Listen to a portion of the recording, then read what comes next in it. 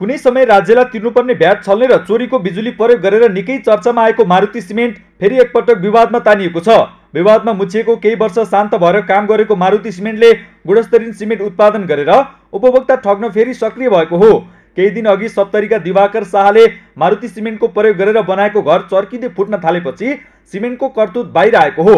राज्यको खानी दोहन र कर छल्न निकै माहिर मारुतिले गुणस्तरीय सिमेन्ट उत्पादन गरेर उपभोक्ताको सम्पत्ति र स्वास्थ्यमा खेलबाड गर्दै आइरहेको छ।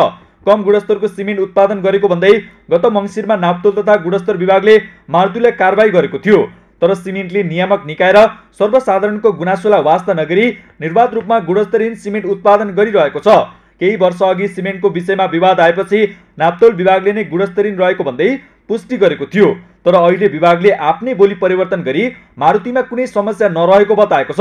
हामीले गत आर्थिक वर्षमा पनि बजारबाट र उद्योगबाट गरी नमुना सङ्कलन गरेका छौँ र यो चाहिँ परीक्षणको क्रममा रहेको छ। अब अहिलेसम्म हामीले गरेको पुरानो रेकर्डहरू हेर्दाखेरि त्यस्तो कुनै कैफियत देखिएको छैन र अहिले पछिल्लो हजुरहरूले यो भन्नुभएको कुराहरूभन्दा पहिला र पछि गरेर कलेक्सन गरिएका स्याम्पलको नमुनाको नतिजा आउने क्रममा छ। यसमा केही कैफियत भेटेमा हामी जानकारी गराउने छौँ र हालसम्मलाई चाहिँ त्यस्तो कुनै ठुलो कैफियत भेटिएको छैन।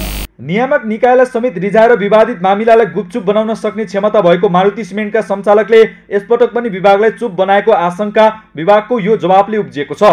विवाद र उजुरी आइसकेपछि त्यसको गुणस्तर तत्काल परीक्षण गर्नुपर्ने दायित्व नाप्तोल विभागको भए पनि त्यसो हुन सकेको छैन। विभागले नियमित प्रक्रिया भएको हुँदा अन्य सिमेन्टसँगै यसको गुणस्तरको नतिजा अझै केही दिनपछि मात्र आउने भन्दै गैर जिम्मेवार जवाब दिएको छ। विभागले मारुति सिमेन्टको विषयमा त्यति धेरै खुलेर पनि बोल्न समेत चाहेन। पछिल्लो पटक कुनै खालको कैफियत आउँदा हामीले स्पष्टीकरण गरेको सोधेको हामीले सबैलाई तपाईँहरूलाई जानकारी नै छ। त्यसपछि त्यसपछि बिचको अवधिमा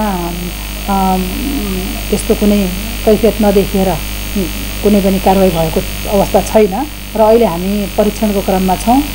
नाप्तोल विभागबाट मारुतिको ओपिसी सिमेन्टको परीक्षणका क्रममा दुई हजार अठहत्तर सालमा विभागले गुणस्तरहीन उत्पादन भएको ठहर गरेको थियो। विभागले मारुतिको उत्पादन बन्द गर्न र बजारमा गएका सिमेन्ट फिर्ता गर्न त्यति बेला नै निर्देशन दिएको थियो। तर अहिले विभागले त्यो विषयमा अनभिज्ञ भए जसरी जवाब दिएको छ। ओपिसी सिमेन्ट भनेपछि जो कोहीले पनि खरिद गर्ने हुँदा मारुति धेरैको रोजाइमा पर्यो तर रोजेका जति सबै ठगिए। उपभोक्ता अधिकार कर्मीका अनुसार ओपिसी भनेर ग्रेड प्राप्त गरेको मारुतिको उत्पादन नै ओपिसी छैन।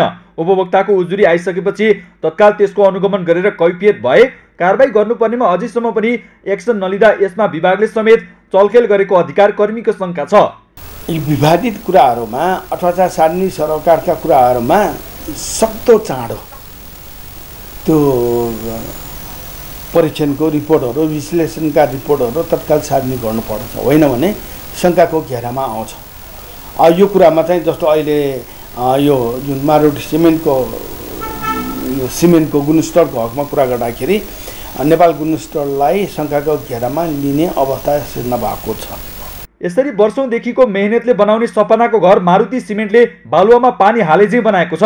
कतिपय उपभोक्ताले त सिमेन्टको कैफियत समेत थाहा पाउँदैनन् र ठेकेदारलाई गाली समेत गर्ने गर्छन् तर मारुति सिमेन्टले नै गुणस्तरीय सिमेन्ट बजारमा पठाउँछ भन्ने कुरा अहिले धेरैले बुझेका छन् र यसको प्रयोग गर्न समेत छोडिसकेका छन्। मारुतिको गुणस्तरीय सिमेन्टको प्रयोगले लाखौँ लगानी गरेर बनाएको घर भत्किएर कहिले ज्यान जाने हो भन्ने डर समेत मानिसहरूमा पैदा भएको छ।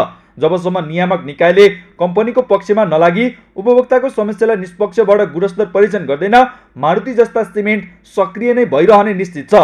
सुगरमाता टेलिभिजनका लागि क्यामेरामा प्रताप लामाका साथ अभिषेक सुनार काठमाडौँ।